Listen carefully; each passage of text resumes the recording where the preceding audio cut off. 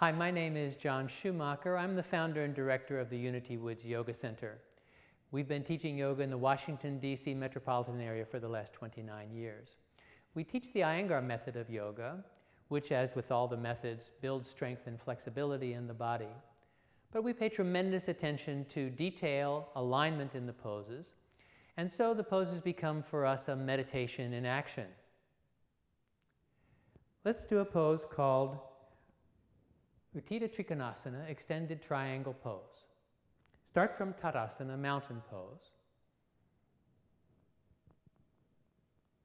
Bring your hands up in front of your chest. With an inhalation, take the arms and legs wide apart. This is Utthita Hasta Padasana, extended hands and feet pose. Turn your left foot in slightly. Turn your right leg out 90 degrees. Align your right heel with the arch of your left foot. Lift up on your front thighs and roll that right thigh out so that the center of the shin, center of the knee, center of the front thigh all point the same way the toes are pointed. Level your hips, lift the sides of the trunk evenly. With an exhalation, bring the right hand down onto the leg or onto the floor if that's possible. Eyes looking straight ahead for the moment. Draw up on the front thighs, lift the chest, stretch the arms from the center of the chest.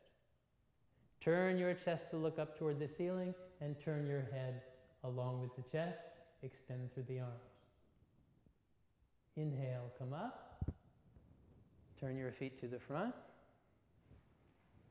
Take a breath, and with an exhalation, turn the feet to the left. Turn the right foot in slightly. Turn the left leg out 90 degrees, again aligning the heel with the arch of the right foot. As you lift up on the front thighs, again the left thigh will turn out so the knee and the shin align with the toes.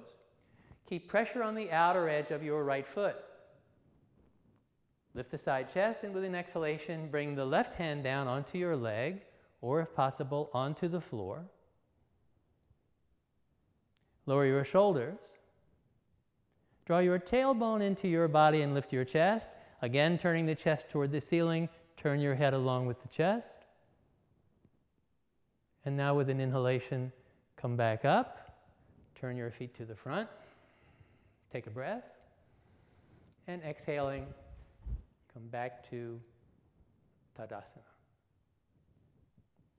Utthita Trikonasana, extended triangle pose.